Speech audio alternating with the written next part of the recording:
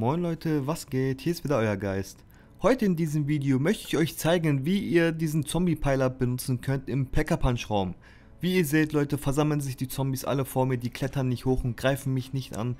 Das einzige, was euch hier töten kann, ist der Megatron oder die Hunde. Aber wenn ihr den Strom auslässt, Leute, kommen die Hunde nicht. Und der Megatron, den kann man ganz leicht mit dem Feuerring töten.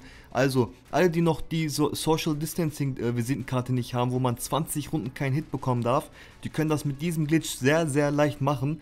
Ich zeige euch jetzt, wie dieser Glitch funktioniert. Und zwar müsst ihr den Packer Punch Raum hier unten an der Treppe hier hochklettern. Aber ihr dürft nicht direkt davor stehen und klettern, sondern müsst ein paar Meter zurück und nach vorne laufen und springen. Sodass ihr in der Luft quasi hochklettert. Und wenn ihr das dann gemacht habt, sollten die Zombies sich vor euch versammeln. Und natürlich könnt ihr hier auch den Energiemin Glitch benutzen.